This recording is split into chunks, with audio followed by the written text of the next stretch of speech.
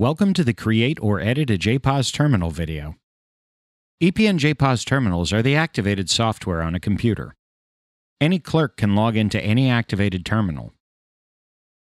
Log into your account at www.eprocessingnetwork.com. Click Software Apps on the left menu. Click EPN JPOS. Expand the Terminals section. Click here to add a new terminal. Now click Edit for the terminal. Name the terminal something like Register two or Back Office. Select Yes to enable the terminal.